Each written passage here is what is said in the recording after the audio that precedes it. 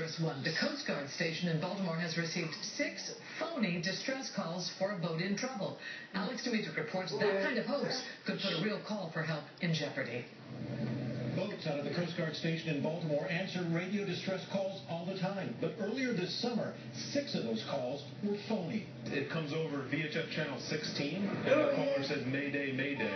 And all six calls uh, have been determined to be the same male voice. All these calls have been determined to be coming from the Middle River area in Baltimore. And the Coast Guard responded, dispatching boats and helicopters on wild goose chases that have cost $70,000 because second guessing there isn't an emergency isn't an option. When we don't take those seriously, uh, that'll be the one time that it is an actual true distress call. Two years ago, the Coast Guard unveiled its new communication center. This technology is why they know the hoax calls are coming from Middle River.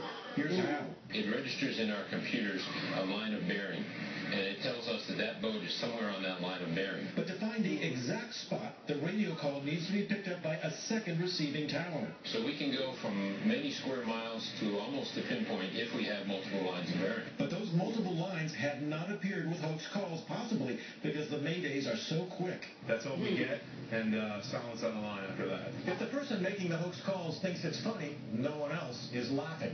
When crews are out there searching for this, we can actively respond to other, you know, legitimate cases that may be out there.